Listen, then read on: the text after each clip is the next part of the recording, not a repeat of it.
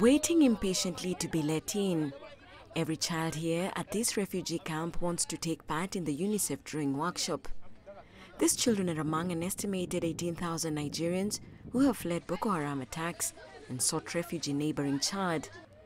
The subject of today's workshop is painful. Each child is given a blank piece of paper and asked to draw their experiences. On the day of the attack, we were in front of our door when we saw the Boko Haram. They went towards the people who were standing by the river and shot them in the head. The children draw bloodied faces and headless bodies. Horrific scenes emerge one after another. Boko Haram closed in on his house. The man tried to leave, but he couldn't find a way out. The whole house went up in flames. Every afternoon after school, UNICEF welcomes hundreds of children here. Many come from different towns and villages, and they don't all speak the same language. Their lives have been turned upside down by Boko Haram, and regaining normality is a challenge. The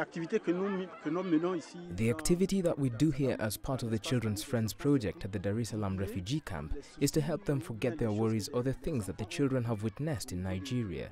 With those who've had traumatic experiences, we use a therapeutic language. For example, if the child is isolated, we identify that. Around 140 of the children arrived without their parents, who were either lost in the confusion or killed by Boko Haram. Mahamad spent nearly a week getting to the camp. I will never forget what I saw. There were even some babies who were born en route as we were fleeing. When I see these babies here in the camp, I can't help but remember. Like many of the other refugee children here, he has a simple hope that one day he can safely return home to Nigeria and find his family. Susan Mungeli, CCTV.